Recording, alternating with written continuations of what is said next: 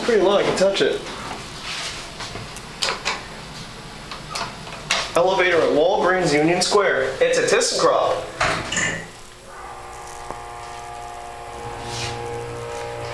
And I can touch Mr. Security Camera. Here we are in two.